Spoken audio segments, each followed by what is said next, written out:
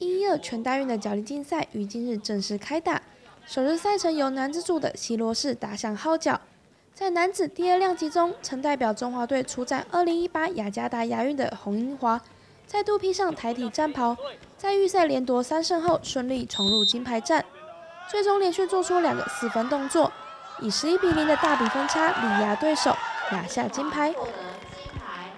就是再回来摔大专杯也是很开心，因为毕竟他们都还是现役选手，我自己都已经在当教练了，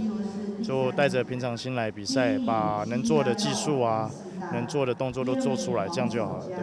在预赛与学长洪英华上演台体内战的陈冠任，则是在铜牌战中摔出气势，在比赛后段挣脱对手的压制，一连做出两个滚桥，顺利摘下铜牌。赛后，陈冠任也表示，上午的表现不如预期，但在经过心理咨商师的辅导后，成功突破心魔，心态上的成长更成为他此趟全大运的最大收获。因为学长是一个很强劲的对手，所以我们平常一定都会有一起训练，他会很无私的一直指导到我动作。他说：“你不用去热身，你就是好好的先把你的心理状况调好，你就会赢得比赛。”我就觉得